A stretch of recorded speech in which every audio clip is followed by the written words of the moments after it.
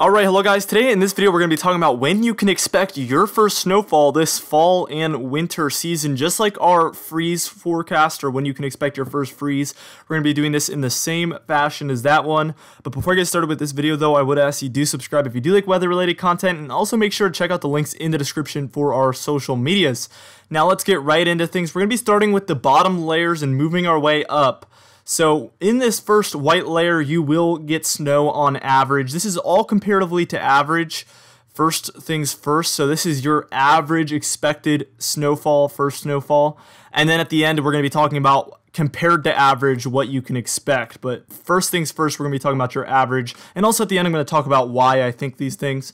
But this is your average snowfall. And I had a lot of comments on the freeze one about, oh, this was inaccurate or this was wrong. A lot of these maps with your averages are very hard to do for the entire country. Uh, so I'm going based off of other maps that I've seen before. Obviously, I don't know by heart when all areas in the United States can get their average snowfall. So I am going based off of other sources.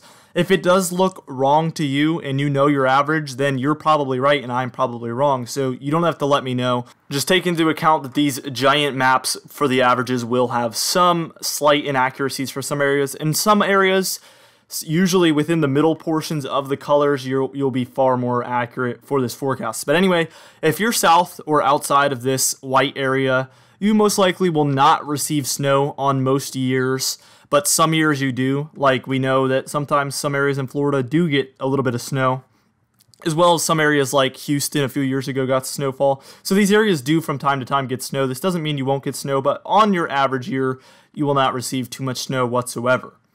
Now, the areas within the white on average do receive snow, and if you are pretty far above the white line, you almost always get snow.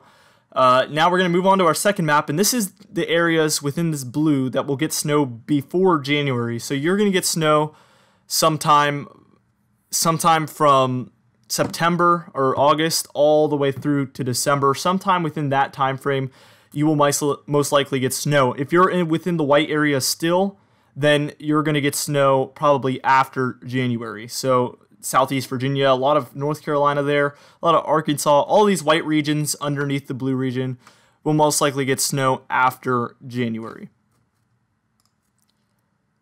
Now, areas within this dark blue, we're expecting to see snow before mid December. So if you're in the light blue shade still, then you might most likely will be getting snowfall in the second half of December on average. So from the 15th till the end of December, that's your average first snowfall, and that's when you could expect it within the light blue. If you're in the dark blue, it will be sometime before mid December.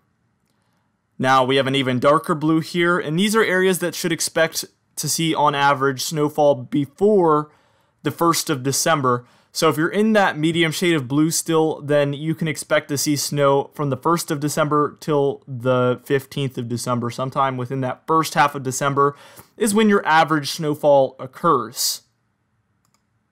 Now we're adding our purple shade. This area will get snowfall before mid-November, meaning that the darker shade of blue there, or the darkest shade of blue, almost a black color, will receive snowfall most likely in the later half of November so the 15th till the end of, Dece- of November, that's when you can expect your first snowfall on average within that dark shade there. Now we're adding this pink region. You will see snowfall before November, most likely within these pink regions. So sometime in August, September, or October. That's when you usually see your first snowfall. Notice a lot of those upper, higher elevations in New England as well popping up in this pink.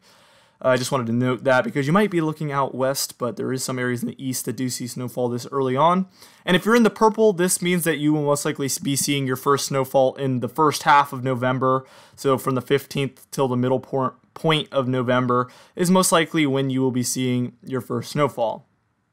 And last but not least, in this red area, you'll most likely get snow before October. Some of these areas on average, the very, very peaks see their average snowfall begin in August. I, I, think there is some limited, very, very high elevation areas that do see their average snowfall, first snowfall in August.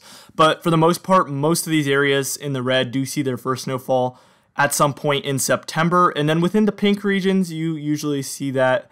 Um, you know, in the in some point in October there for that pink region. So that's our completed map. Um, I hope that wasn't too confusing. This is kind of a new fashion that I'm doing some videos in where I kind of do one layer at a time. I don't know if it makes it easier or harder to digest, but you guys can let me know. You guys were a fan of it last time, so I tried it once again. I think I did it opposite this time, though. I think I started with the top layers last time. This time I started with the bottom ones, so let me know what you thought. Uh, I think it might be a little bit confusing, but then again, when there's a bunch of stuff all, stuff all over the map, it can be a little bit overwhelming at first. Now, for this orange area here, out west, California, Oregon, Washington, Nevada, uh, Arizona, and some of those southern Rockies, I expect your first snowfall to be later than average for these regions. And again, in a little bit, I'm going to tell you guys why I think that. Uh, I do have my reasons for that. And then in this blue region that I just added there from the Rockies eastward and uh, kind of like the northern half of those regions in the eastern and central United States, we're going to see our first snowfall sooner than average for a lot of these regions for the, from the northern Rockies eastward into the north central United States, the Great Lakes regions, and the kind of inland mid Atlantic region, as well as the Northeast and New England states, we're all going to see our snowfall most likely sooner than average. And here's my reasoning for it. Here's my September forecast. I have above average temperatures basically west of the Rockies out there, west, so California, Nevada, Arizona, Oregon, Washington, Idaho, all of these regions are above average temperatures, as well as the southeastern United States. That's not really relevant though. Uh, but we do have below average temperatures there for the north central United States, Great Plains of the United States, and the Great Lakes states, as well as some of those northeastern regions of the United States. I think all of this will lead to the areas in September. The areas that see snow in September will be a little bit further south than normal. So you're going to see that line be a little bit further south this year than average. So I think in September you can expect some of the areas that expect their first snowfall to be in early October, might see it in later September actually instead. Now, also, here's my fall forecast, and you can see it's kind of a similar story. Rockies eastward is below average, with very far below average temperatures there for the north central United States, like the Dakotas, Minnesota, Wisconsin, Iowa. These areas are pretty far below average. And again, west of the Rockies for the northwestern United States, we're all above average temperatures. So that's just another reason why I think we'll see below average snowfall out west there, and then east of the Rockies, I think we'll see above average snowfall. The temperatures are more favorable of it, and I am seeing signs that we could be seeing some snow in the central and northern Rockies very, very soon in the coming days, coming weeks. And also, we've seen signs of a clipper system, a small, very northern clipper system that could bring snow to northern Montana, North Dakota, Minnesota. I think we saw a lot of systems like this last fall where we saw snow for the northern portions of those states. Very small amounts of snowfall, but still snowfall nevertheless. And it looks like that could possibly happen again this year. Areas south of the regions that I was calling for above average snowfall, you're probably going to see it right on time, probably right around your average is when I'd expect that to happen.